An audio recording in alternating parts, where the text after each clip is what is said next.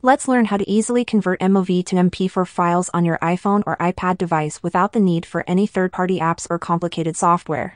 Whether you want to share your videos on social media, send them to friends, or save space on your device, converting MOV files to the widely compatible MP4 format has never been simpler.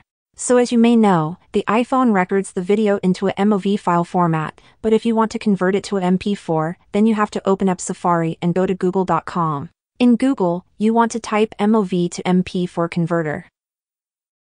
After that, you want to open the specific website called Cloud Convert. I'll leave the website link in the video description so you can open it from there. When you open the website it's gonna look something like this. We need to tap on the select file option and then open our photo gallery. Choose a video you want to convert to MP4. And simply tap on the convert button. Wait a couple of seconds or minutes depending on the size and length of your video.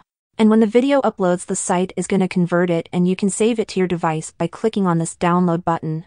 And that's how you can easily convert MOV to MP4 directly on your iOS device. If this video helped you out, then leave a comment and I'll see you in the next video.